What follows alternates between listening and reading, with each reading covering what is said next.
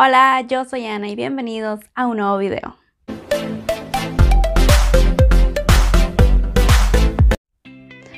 Hola, el día de hoy, como ya vieron en el título de este video, les voy a enseñar qué es lo que se necesita para empezar a ir al colegio comunitario.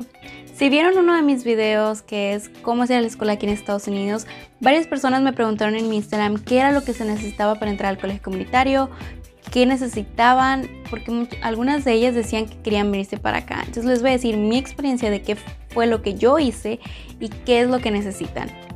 Primero que nada, antes de moverte de México o de algún otro lado para Estados Unidos y tú quieres entrar al colegio comunitario, es importante saber si hay algún colegio comunitario cerca de donde tú vas a vivir. Gracias a la tecnología esta información se puede encontrar muy rápido. Lo único que tienes que hacer es ir a Google o algún buscador de tu preferencia y solamente poner colegios comunitarios en el área que te vayas a, mudar. Por ejemplo, si yo estoy viviendo en Salinas, yo simplemente pondría qué colegios comunitarios existen en Salinas. Creo que nada más existe uno. Yo no vengo al de aquí porque yo solía vivir en Watsonville, California, que está como a 20 minutos de donde actualmente vivo. Pero en Salinas hay un colegio comunitario, en Watsonville hay un colegio comunitario.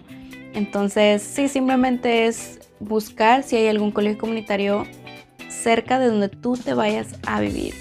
Un colegio comunitario hay que recordar que está hecho por medio de los impuestos de los residentes de la ciudad o del pueblo.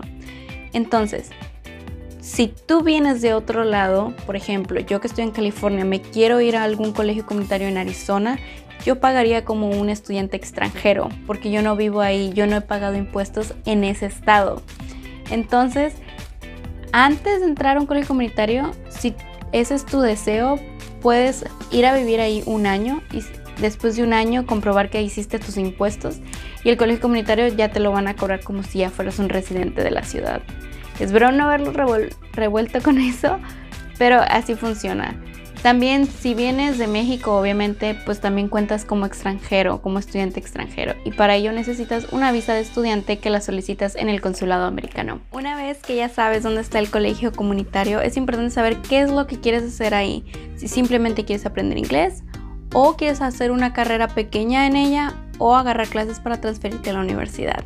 Todo depende de ti, qué es lo que quieras hacer. Y yo digo esto porque a veces la gente solamente toma clases y clases en el colegio comunitario y no nunca hace nada. Entonces así al menos tú tienes una meta de qué es lo que quieres hacer en el colegio comunitario. ¿Qué se necesita para entrar al colegio comunitario? Primero que nada, yo te recomiendo y a los colegios comunitarios, la mayoría de ellos preguntan por tu GED. El GED es el equivalente al High School Diploma o lo que vendría siendo la preparatoria en México. Una vez obteniendo esto, ya es más fácil entrar al colegio comunitario. Son, el, para sacar el GED son simplemente cuatro exámenes, son creo que es matemáticas, ciencias políticas, biología y español, si no mal recuerdo. Y sí, si los pasas los exámenes ya tienes el GED que viene siendo tu high school diploma. Entonces, teniendo eso ya es un avance aquí en Estados Unidos que puedes empezar en el colegio comunitario. Al momento de registrarte en el colegio comunitario, puedes ir, la mayoría de ellos puedes ir a las oficinas del colegio. En mi caso yo lo hice online. Aquí en Estados Unidos la vida es tan fácil con, la, con las compras en línea y todo en línea que hasta la escuela la puedes hacer en línea. Pero a lo que me refiero es que, por ejemplo, en mi caso yo fui a cabrillocollege.com y después te vas donde dice admissions, en donde dice register y te va a preguntar ah, si eres extranjero o si eres ciudadano o residente para registrarte. Te vas a registrar dependiendo. Lo malo a veces de los estudiantes de extranjeros que son los que más pagan en la escuela, por lo mismo que ya comenté de que como no viven aquí no pagan los impuestos, entonces cuentan como estudiantes extranjeros. Pero al poner que eres residente o ciudadano, te vas a registrar como New Student. O también te va a preguntar si ya has ido en algún colegio antes o si no has ido a ningún colegio. Obviamente, como las personas que me preguntaron que si iban a ir en México se van a registrar como nuevo estudiante. Después de ello van a hacer una pequeña orientación que son unos videos que te hablan acerca de cómo es el colegio, cómo funciona, qué puedes hacer en ellos, si estás preparado y después te van a dar una cita para que hagas tus assessments, que son tus exámenes de admisión, que básicamente es inglés y matemáticas, porque el colegio se quiere asegurar de que tu inglés esté al nivel de una universidad, porque básicamente el colegio comunitario ya es una universidad. Tú sientes que ya estás preparado para ello, puedes hacer el examen. El examen no es difícil, no miden...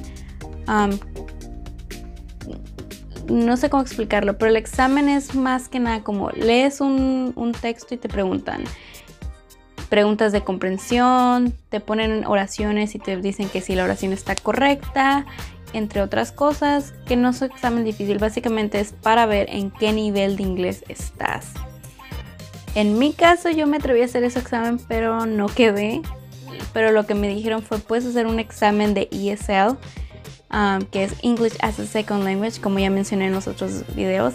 Entonces, esas clases a mí me ayudaron y ayudan a todos a que tu nivel sea más alto de inglés y después puedas tomar clases ya más avanzadas en inglés. Entonces, si tú no sabes inglés y quieres empezar el colegio comunitario, no te preocupes, estas clases te van a ayudar mucho a mejorar tu inglés. ¿Cuánto cuesta un colegio comunitario? Los colegios comunitarios no son tan caros como una universidad, eso claro está pero depende también si eres ciudadano o si eres residente de, la ciudad. El residente paga más que un ciudadano y los colegios comunitarios cobran por unidad. Por ejemplo, las clases de inglés normalmente tienen tres unidades. Supongamos que el, el residente paga 45 dólares por unidad.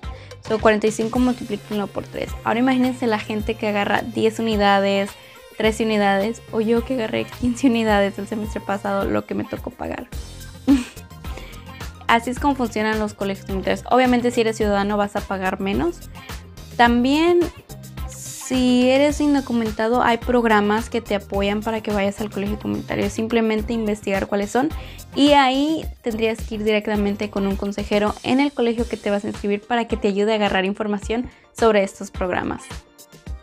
Cuando hablo de consejeros me refiero a personas que trabajan en la escuela para aconsejar a los estudiantes de qué es lo que tienen que hacer, qué clases tomar, si se van a transferir. Ellos son las personas que ayudan a los estudiantes a elegir las clases, a elegir los programas, a elegir la universidad para transferirse. Es importante saber que en algunas partes los colegios comunitarios son gratis. Por ejemplo, en la ciudad de San Francisco los colegios comunitarios son gratis, pero tienes que comprobar que eres residente de la ciudad de San Francisco.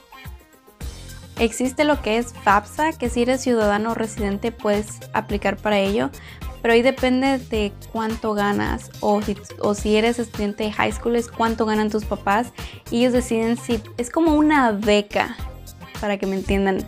Entonces ellos deciden cuánto te van a ayudar a pagar. Por mi mala, no sé, experiencia, yo he aplicado y yo no soy apta para esas ayudas. Pero pues trabajo y mi esposo trabaja, entonces entre los dos pagamos mi escuela, que ya casi me gradúo, por si no les había dicho, me quedan dos semestres nada más. pero sí, básicamente eso es. Pero también hay scholarships, hay programas de non-profit, que esos son programas de que la gente dona para que los estudiantes puedan ir a la escuela. So, si aplicas para esos programas y eres aceptado, ahí no tienes que pagar dinero de regreso ni pedir préstamos porque ahí la gente dona para que las estudiantes puedan ir a la escuela. Otra vez, ahí es simplemente ir con tu consejero de la escuela para que te aconseje y te guíe qué programa es el mejor para ti. Si quieres venir de México y quieres entrar a un colegio comunitario, recuerda que tienes que averiguar qué colegio comunitario está en tu ciudad ir con un consejero que te ayude si necesitas entrar y saber qué es lo que quieres hacer. Si no, simplemente preguntas por las clases de ESL para que te ayuden. El examen no es difícil, el examen simplemente es para ver en qué nivel de inglés estás. Y después de ahí ya puedes ver qué más puede ofrecerte un colegio comunitario. Si te quieres transferir a la universidad o si quieres hacer una carrera pequeña en ella. Las dos funcionan en el colegio comunitario. Bueno amigos, hasta aquí el video de hoy. Espero que les haya gustado. Espero que mis respuestas hayan sido buenas. No quise dar tanta explicación porque quería que mis respuestas fueran concisas de las preguntas que me hicieron en mi Instagram. Recuerden que me pueden ir a seguir ahí y estar en contacto. Si tienen más preguntas de cómo lo hago, tienen la libertad de preguntarme y espero ayudarlas.